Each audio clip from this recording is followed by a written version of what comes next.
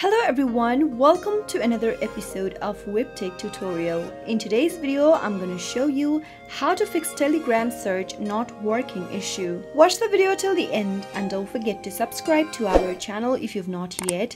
Press the notification bell icon so that you'll never miss another upcoming upload from us. If you're trying to search for something on your Telegram app, but if it does not work, then here are some troubleshooting methods you could try to follow. The first thing to do is to make sure that you are connected to a stable internet connection. Turn on your Wi-Fi or switch on your mobile data or you can also switch between them and once your device is connected to an internet, try making a search on Telegram by tapping open the Telegram app and go to the top right hand corner and tap the search icon. Make your search in the search box and see if that fixes the issue. If it does not work, try restarting your device.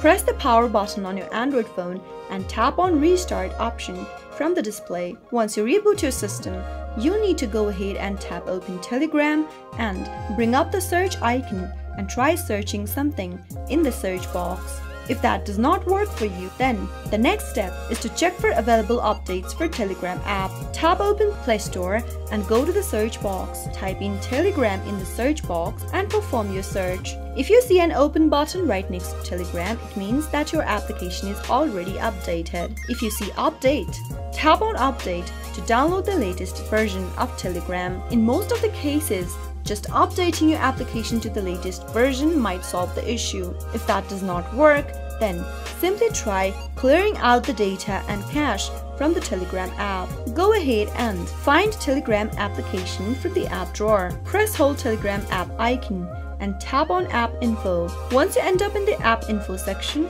tap on Storage. Tap Clear Cache at the bottom right in order to clear out the cache data from the Telegram app. Once you are done with it, tap on Manage Storage at the bottom left. Tap on Clear Local Database and tap on Clear. Once you do that, tap open your Telegram application, go to the search icon at the top right and try making a search. That way you can easily solve Telegram search not working issue on your Telegram app. I hope you found the video to be helpful. If it was, go ahead and give us a thumbs up. I'll be back soon with more videos like this.